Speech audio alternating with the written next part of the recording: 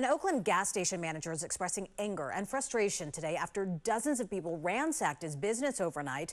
And to make matters worse, he says police never showed up after he called for help. Happened at the 76 station on Hegenberger Road near 880, just up the street from the airport. ABC 7 News anchor Dion Lim explains how it all unfolded.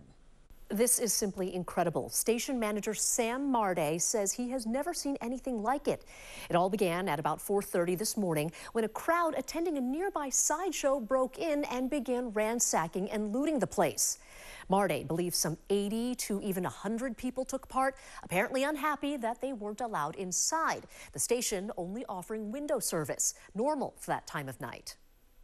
Shelves were ripped apart all the grocery items were torn or stepped on or vandalized. They broke the, the refrigerators. They robbed our ATM, tore the ATM apart, took everything in it. They tried to get the safe, but it was more secure than anything else, so they couldn't get through that. Basically, every single thing, even the TV.